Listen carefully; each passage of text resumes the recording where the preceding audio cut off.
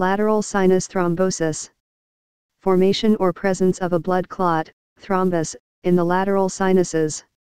This condition is often associated with ear infections, otitis media or mastoiditis, without antibiotic treatment. In developed nations, lateral sinus thrombosis can result from craniocerebral trauma, brain neoplasms, neurosurgical procedures, thrombophilia, and other conditions. Clinical features include headache, vertigo, and increased intracranial pressure.